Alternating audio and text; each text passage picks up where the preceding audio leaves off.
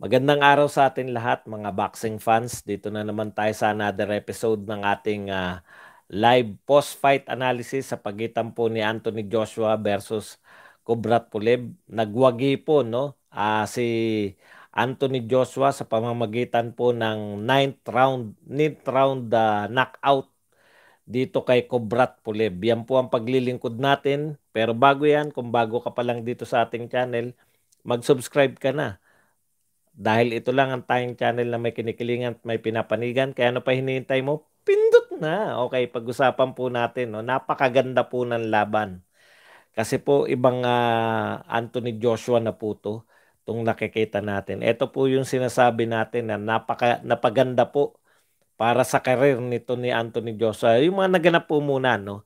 Uh, round 3 po, uh, ito po ay totally dominated ni Anthony Joshua as expected. Ang hindi lang po natin in-expect ay mauuwi po to sa knockout no. Ang in-expect po natin eh yun nga yung style ni Anthony Joshua na jab-jab lang na uh, tatalunin niya si Kubrat Pulev, 39 years old, medyo may kabagalan na po.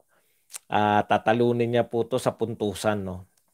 Pero ibang Joshua na po yung nakita natin no isang uh, maswais, matyaga pero napakalakas talaga rin nito ni Anthony Joshua. Alam po ninyo, aaminin ko na po, no, first time ko po napanood si Anthony Joshua, yung laban po niya ni Andy Ruiz. Kaya sabi ko nga, wala tong kakainin dito kay Tyson Fury at saka dito kay uh, Deontay Wilder. Pag nakaharap niya tong mga dalawa pang bigate na heavyweight, no. Pero ibang Anthony Joshua na po itong nakikita natin. No? Ninth round, uh, ng third round po, dalawang beses pinabagsak ni Anthony Joshua itong si Kubrat Pulev. At sa tingin ko nga po, dapat yung uh, second, third round pa lang ay eh, nawat na na referee kasi matindi na po yung pagkakabagsak. Pero ganun pa man, uh, tinuloy pa rin ng referee uh, Ganun pa rin pong ginagawa ni Anthony Joshua. Malalakas po ang jab, no? Ibang klase po mag-jab to. Parang tumatama po ng straight. Mahaba, malakas, no? Talagang uh, na-dominate niya po, uh, na-control niya yung laban. Malalakas naman po yung mga jab nito kaya naghihintay lang po. Ang kagandahan po rito kay Anthony Joshua, talagang napakatyaga po no? Hindi po nung pagkatapos ng third round eh fourth round. Sa tingin ko po eh, dapat 'di ba? Kung napabagsak niya ng dalawang beses sa third round pagpasok ng fourth round puputaktihin. Hindi po ganoon na naganap. Talagang chinaga niya pa rin no? Ang tingin kong hanggang sa makarating sila ng ninth round pag may mga pagkakataon po napupuruhan niya si Pulev, hindi niya po minamadali. No? Ito po yung patience na sa tingin kong nadagdag dito sa armor nito ni Anthony Joshua. Uh, ano po sa tingin sa aking palagay, bakit ko po nakikita ngayon na si Anthony Joshua ay mas mahirap talunin at mas magaling na po siyang boxer. No? Ito po yung lagi kong sinasabi na uh, hindi po nagmamatter lagi yung zero loss eh, no?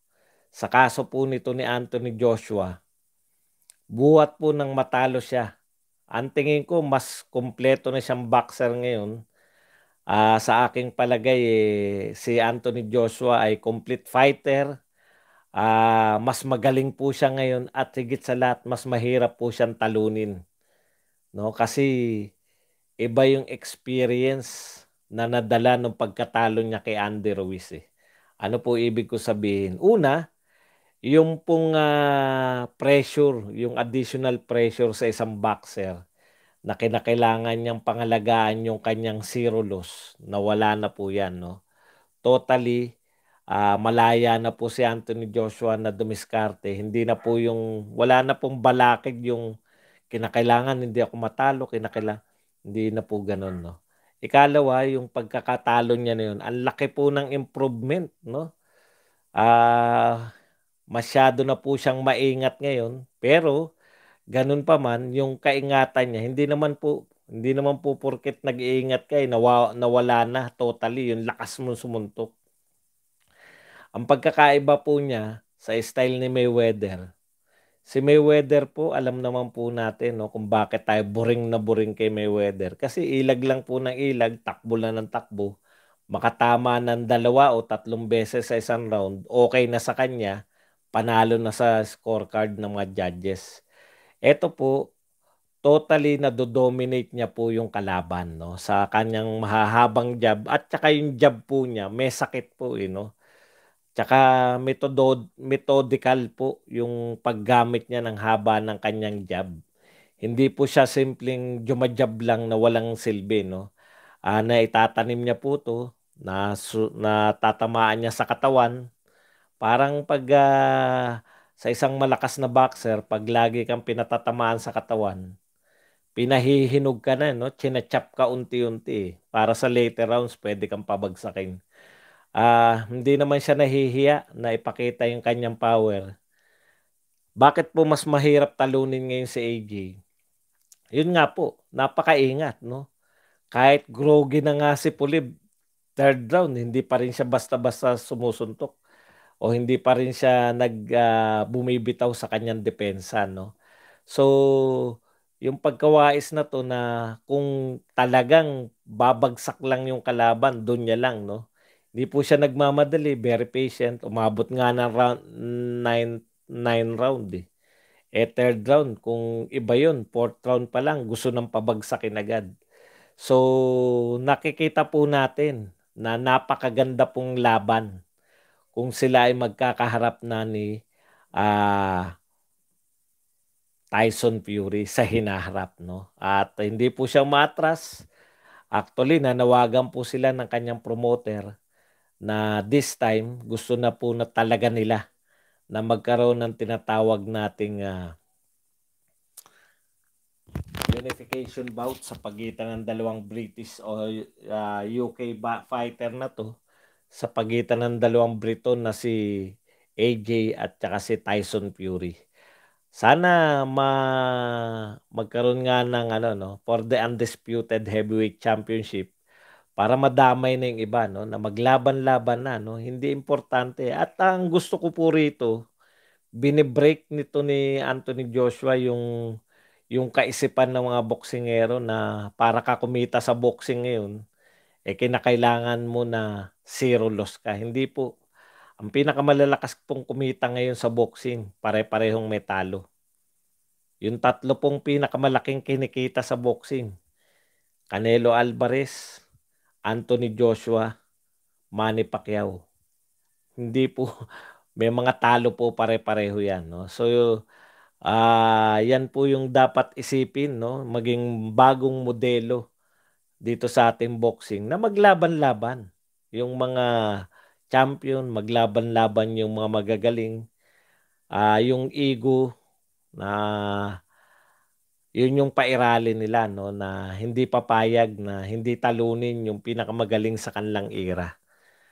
Uh, sana ganyan na yung ano no. Uh, mahawa sana yung lightweight, napakadaming pangalan.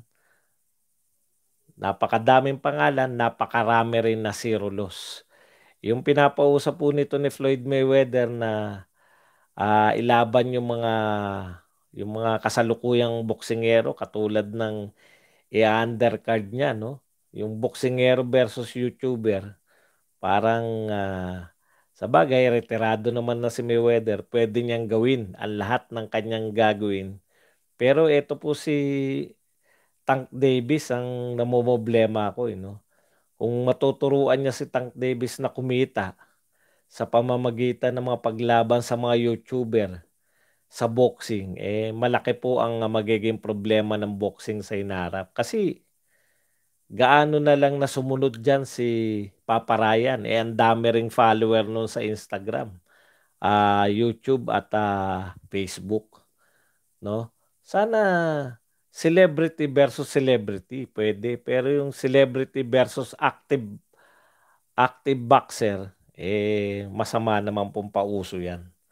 Okay, so inaasahan po natin na sa 2021 magkakaroon na po ng unification bout sa pagitan po nitong dalawang British champion. Dalawa lang po naman na may hawak ngayon. Uh, kung hindi pa rin daw masusunod yan, uh, pinangako naman ni Ed Hearn, no? Sabi ni Ed Hearn, this time, magiging iba na yung negotiation kasi kaya isa pong dahilan sa mga hindi pagkatuloy na negotiation eh.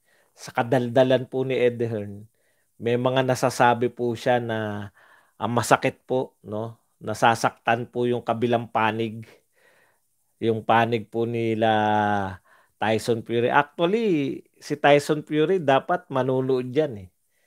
Eh kaya lang nagkalabuan si yung uh, British promoter ni Tyson Fury. Si co-promoter lang si Bob Arum eh. May British promoter siya si Frank Warren.